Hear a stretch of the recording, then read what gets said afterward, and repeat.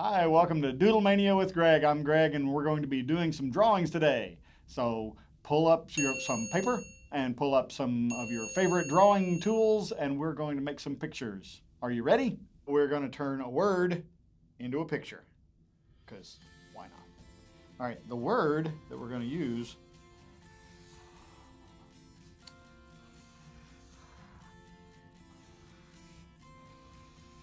is boy. And if you've got paper and a pencil sitting there watching, you can write boy really quick. Try to write it a lot like this because I'm going to show you how you can turn that word into a picture. Now, first thing we're going to do is we're going to use the circular part of the B and the circular part of the O, which is the entire O. We're going to turn those into glasses that have an eyeball behind them. So I'm going to go ahead and draw little tiny eyeballs behind and what I'm doing is, is drawing a little black circle with a little white circle inside it. If you leave a little white circle inside it, it makes it look more like an eyeball. All right, so we've got glasses by connecting the circles and then by running another line out to this Y over here, which is going to become the hair in front of his ear.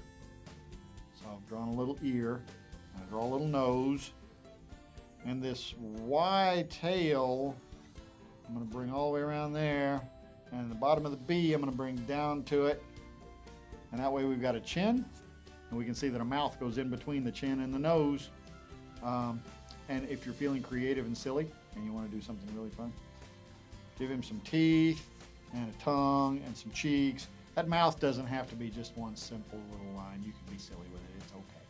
I'm also going to add in some eyebrows on this boy.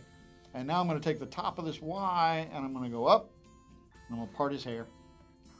And I'm going to give him a little swoopy hairstyle. I'm going to go back to the part.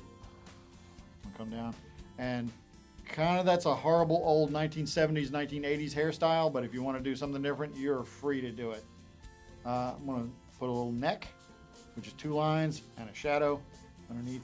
And then we'll put collar and some shoulders and we're going to break up his body with two lines that makes sleeves. So now we have taken the word boy and we've drawn a boy. And if you've got three or four sheets of paper, you can do it three or four different times. You come up with a whole crowd of boys and see how many different kinds of boys you can draw. Enjoy.